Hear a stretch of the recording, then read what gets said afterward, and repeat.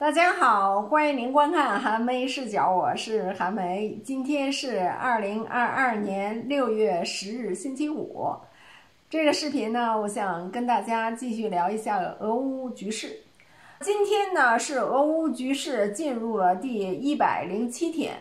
前两天在第一百天的时候呢，大家呢都在讨论这个俄乌战争还要打多久？是再打一百天吗？是要打到年底吗？是要再打一年吗？还是要再打十年吗？到底要打多久呢？这个是取决于谁呢？取决于乌克兰吗？取决于俄罗斯吗？取决于美国吗？取决于欧洲吗？到底要打多久？那今天呢？我想告诉大家。俄罗斯已经准备好了打二十一年，为什么还有零有整的呢？就是因为啊，今天俄罗斯有一个大的活动。今天呢是俄罗斯的一个历史人物，是俄罗斯历史上的一个英雄，叫彼得大帝，就好像我们历史上说汉武帝，对吧？一样，说彼得大帝呢，今天。是他诞辰三百五十周年的纪念日，三百五十岁了呀。但是呢，俄罗斯还在纪念他。三百五十周年的纪念日上，普京出席了这个纪念日的活动。在这个纪念日的活动上面，普京就讲了一段话。这段话呢，向全世界传递了一个强大的信号。这个信号呢，就是。俄乌战争恐怕要打很长时间，恐怕是一个持久战，恐怕是很久很久，恐怕有的人等不到这个战争的结束。那普京怎么说的呢？普京就说呀，说在十七世纪的时候，伟大的彼得大帝和当时非常强大的瑞典。进行了一个大战，这个战争呢叫北方战争。这个北方战争持续了二十一年。这个彼得大帝呢，用二十一年的时间收回了俄罗斯的领土。普京说：“今天轮到了我们。”普京在这个时候发表这样的一个讲话。用这样的一个语言说：“今天轮到了我们。”彼得大帝想当年为了收复国土，用二十一年的时间达成目标。今天，我们又面临着这样一个任务：我们要收复国土，我们要用多长时间呢？普京的意思是说呢，多长时间你都不要嫌长。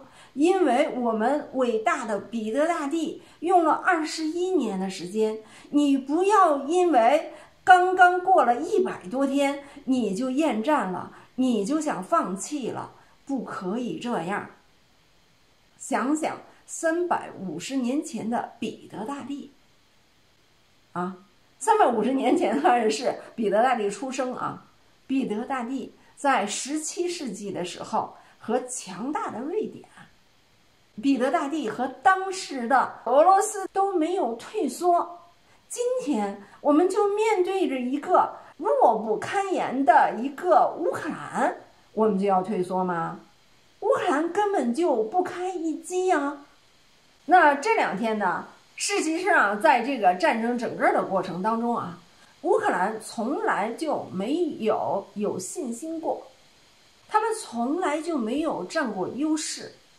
乌克兰的总统泽连斯基，乌克兰的外长，乌克兰的防长，乌克兰的总统泽连斯基的那个顾问，一直都是在向美国以及欧洲就是要钱要武器。每次他们的发言都是：我们的形势很严峻，我们面对了一个强敌。那今天呢？他们又说。俄罗斯是一个占有非常大优势的一方，他们在火炮方面是我们的二十倍，他们在弹药方面是我们的四十倍，我们需要你们赶紧给我们武器，给武器，给武器，给武器，给重武器，给重武器，给重武器，给钱，给钱，给钱。那美国呢，在前一段时间给乌克兰所提供的是一些轻武器，最多呢是那种肩扛式的毒刺导弹呢、标枪导弹呢这些。那最近我们所看到的呢，美国就开始给他提供重武器，都是一些火炮，甚至呢最近又批准了要给他多管火箭炮海马斯。虽然说呢不给他提供陆军战术导弹，也就是那种精准打击的远程导弹，但是呢它的威力也是不容小觑的。这两天我们还看到了 M 七七七火炮呢。已经在战场上用上了，确实也起到了一定的作用。乌克兰方面也夺回了一些阵地，有一些阵地呢就是一个拉锯战。美国以及西方给他的武器呢是源源不断。美国以及西方为什么要源源不断的给他武器呢？这件事情呢其实是非常的耐人寻味的。美国，他当然是希望这个战火一直延续下去，直到把俄罗斯拖垮。那么，他煽动的欧洲，当然也有这样的一个动机。现在，欧洲呢都在看着美国的眼色行事。美国给他提供轻武器，他们就提供轻武器；美国提供重武器，他们就提供重武器。为什么会这样呢？美国一方面要拖垮俄罗斯，另外一方面，美国的军工复合体也是赚的是盆满钵满呀。你美国的军工复合体赚钱，难道说欧洲的不想赚钱吗？欧洲也想赚钱啊，所以欧洲呢也紧跟这个美国。德国为什么说转变了立场？一开始他说他不给他提供武器。还记得吗？而且呢，他还不允许买他武器的那些国家把德国的武器转手提供给乌克兰。特别具有讽刺意味的是呢，德国给乌克兰提供了一大批的头盔，让这个乌克兰呢非常的恼怒。但是后来德国就变了，德国现在在欧洲的国家当中，它提供的武器是最重的武器。也是提供武器最积极的。那么今天俄罗斯的媒体发了一篇文章，这篇文章更进一步的揭露了美西方为什么这么积极的给乌克兰提供武器。除了要拖垮俄罗斯以外，他们当然是为了赚钱。还有一个对他们特别有好处的是什么呢？俄罗斯的媒体呢就揭露说，大家。应该能够注意到，美国以及欧洲给乌克兰提供的好多的武器，他们自己都声称说这是我们所研制出来的最先进的武器，我们自己的军队都还没有使用，我们先给乌克兰使用。为什么会这样？是他们这么好吗？是他们爱乌克兰吗？俄罗斯的媒体揭露说，并不是。这里面有很大的猫腻，这个猫腻是什么呢？就是啊，你新研发的这些武器啊，是需要进行试验的，是需要进行测试的，是需要看它的实战的结果的。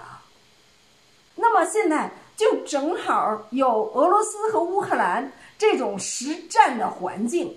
而且呢，又有俄罗斯这样的一个强敌，那么他们就把他们自己新研发的、还没有进行试验的这些武器拿来到这儿进行试验，这是一个千载难逢的一个好机会啊！而这个乌克兰呢，又很愿意用他们的血肉之躯来帮助美国以及欧洲的这些国家。进行这些武器的试验，乌克兰的那些士兵们，乌克兰人说呢，我们无所谓，我们要打到我们最后一个乌克兰人，我们就是来牺牲的。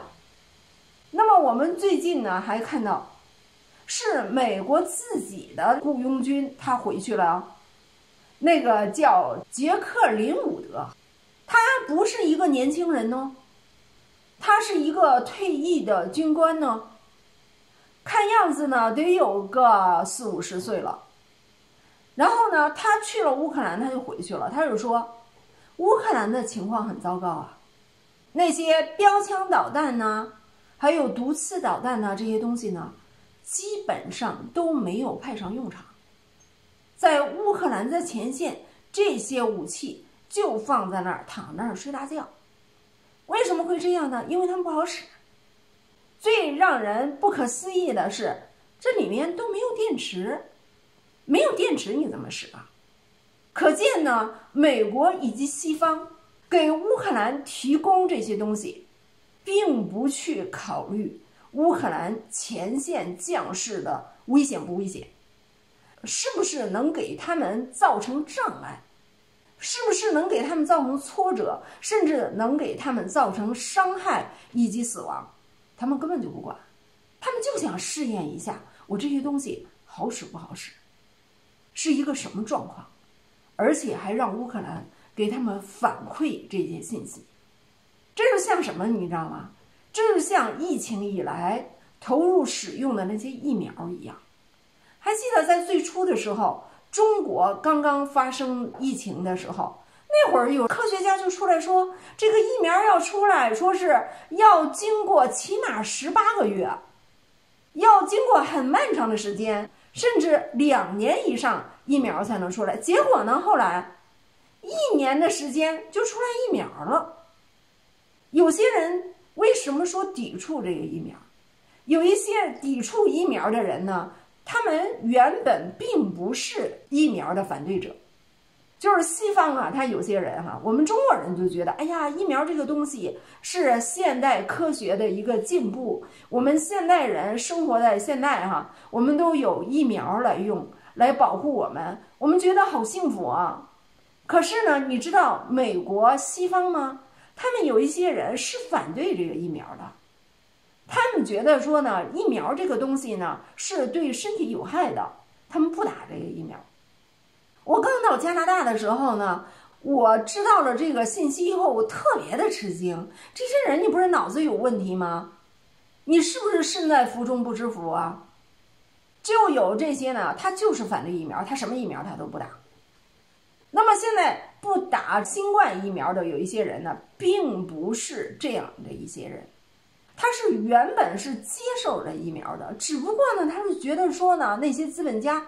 根本就不为我们考虑，把我们当小白鼠来试验。他没有做足够的试验，就想拿我们来做实验。就跟这一样，美国以及西方，他那武器呀，就拿乌克兰来做试验。所以呢，你就看到在前线，好像是呢，美国以及西方老是不停的给他武器，不停的给他武器，但是。在前线，乌克兰自始至终就没有占优势。现在还说什么？说在炮火方面呢，俄罗斯是他的二十倍；在弹药方面，俄罗斯是他的四十倍。我们要知道，俄罗斯满打满算的军费开支只有六百五十亿，而美国自个儿就有七八千亿，是不是？那欧洲的那些国家，北约那些国家加在一起，它怎么着，它也比俄罗斯要多多了呀，对不对？但是呢，一点儿都没有展示出来对俄罗斯的这种力量对比的这个差距缩小，为什么呀？那我看到西方的媒体就是说呢，说乌克兰呀就是一个无底洞，乌克兰太腐败了，这种武器呢给了他以后呢，还指不定都去哪儿，全都去了黑市了。轻武器去了黑市，重武器也去了黑市，他们就靠这武器去黑市赚了很多钱。轻武器赚钱，重武器更赚钱。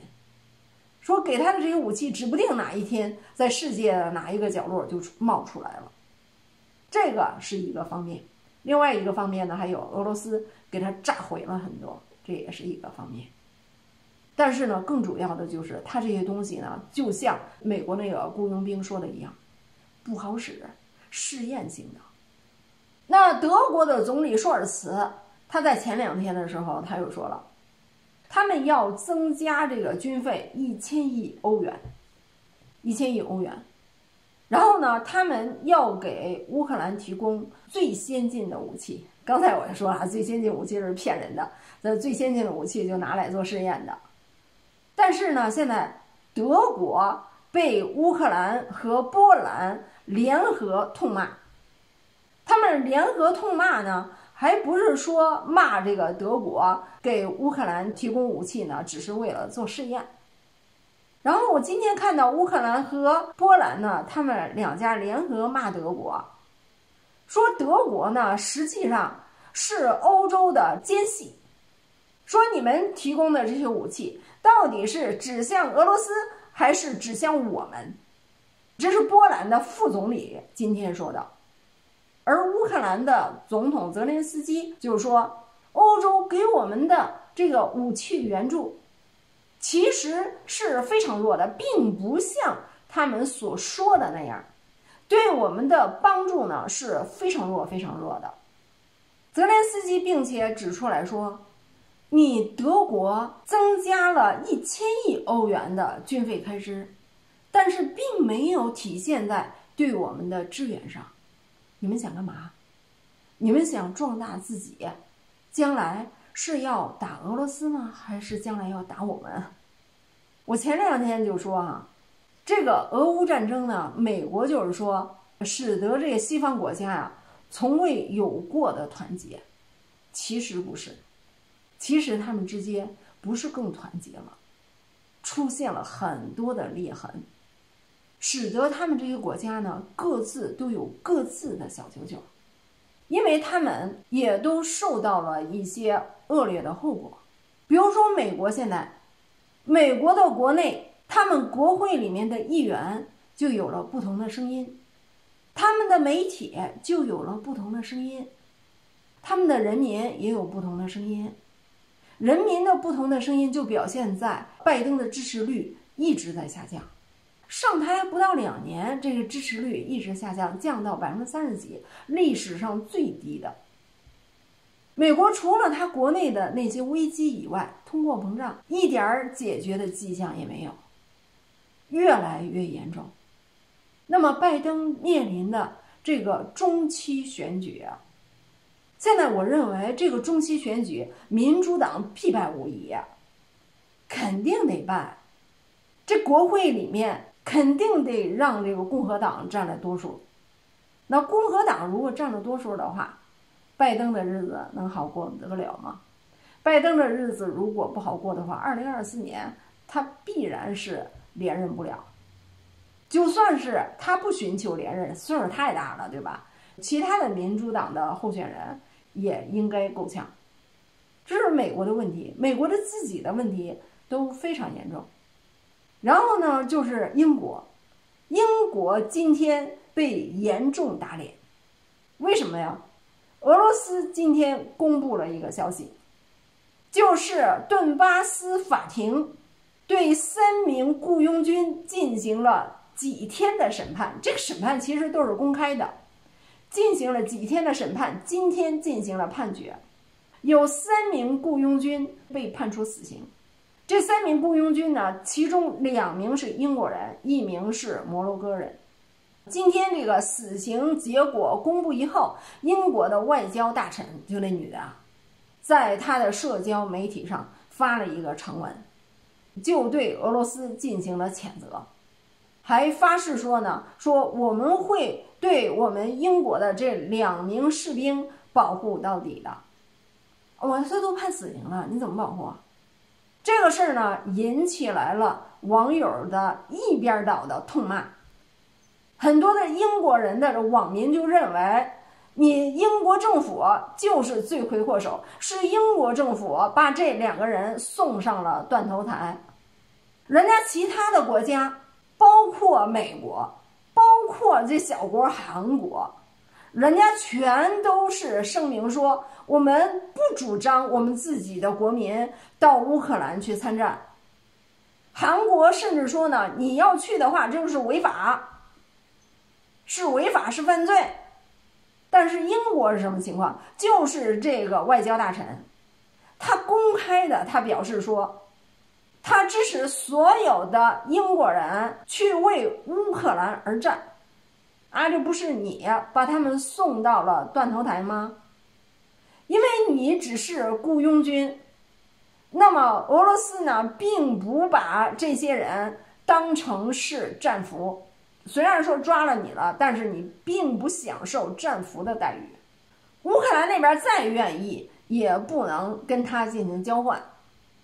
这三个人其实还只是一个开头，后面肯定还有好多。这里面肯定还包括什么美国的、加拿大的、波兰的，包括好多。那如果到那时候的话，其他国家的政府可能不会受到这样的围攻，因为像其他的国家并没有支持他们去。但是英国的这个外交大臣这个女的，她公开表示说支持。你对他们的家人如何交代？最近这些日子呢，英国的首相 Boris Johnson，他就面临着被投了不信任案。他这个不信任案呢，到最后在国会没有通过，差一点儿就通过了。如果这不信任案通过的话，你就得下台了。然后就是德国，德国我刚才已经说了，德国自始至终都是被火上烤的那一方。一开始的时候呢，他不支持。然后就受到了乌克兰以及其他国家的这种抨击。后来他又支持，支持呢，他又出面调和，也被乌克兰骂的是狗血喷头。现在呢，我其实挺不明白了，为什么要骂他？他不是很积极吗？给你们提供这些武器，为什么要骂他？就是因为他那一千亿欧元没有全部用于你乌克兰吗？波兰为什么骂？我当然是能理解，波兰就挑事儿呗，或者是波兰他意识到了他自己的危险，因为波兰和德国是邻国呀。德国很明显的这一千亿欧元，并不是为了来支援乌克兰的，那不是为了支援乌克兰，为了壮大自己的军事力量。完了以后呢，谁最先受到威胁，还不是他的近邻波兰吗？好，我们从以上的这些方面来看，美国西方他们有很多的理由，源源不断的给乌克兰提供武器，然后乌克兰那种民族情绪又特别的高涨，泽连斯基都成为了一个全世界的一个民族英雄了，他能够放弃他自己国家的这个土地和领土吗？他好多次的都表示说，我们不放弃领土，不放弃任何的一寸土地，包括克里米亚，对吧？所以这个战争它能停吗？怎么可能停呢？那普京现在呢，就做好了准备，我们要打一个长期的战争，打上二十一年都不为过。那俄罗斯方面今天还公布了一个消息，就是呢，俄罗斯的本土克里米亚。乌南乌东地区全部都打通了，恢复了克里米亚的供水，恢复了整个这些地区的交通网络。交通网络呢，其中就包括公路网，还包括说他们这段时间呀，人不知鬼不觉的，俄罗斯的铁路公司修复了一千二百公里的铁轨，现在铁路也通了。人家俄罗斯呢，就在乌克兰。过上日子了，过上了红火的日子。你说你乌克兰，你还说领土寸步不让，包括克里米亚，这可能吗？除非说美国现在提出来，说割地赔款，割地谈和，这个战争呢有可能停下来，否则的话，这个战争一直打下去。而俄罗斯现在决心很大。现在如果说乌克兰提出来要和谈，你和谈如果不满足俄罗斯的条件的话，我估计俄罗斯都不会放弃。更何况呢，现在一直在打，乌克兰反正是哪儿能打我就打哪儿，反正我就打着，反正这些弹药呢是白来的，虽然说以后要还，以后谁管以后啊？有没有以后啊？好，我这个视频就跟您说到这里，感谢您的收看，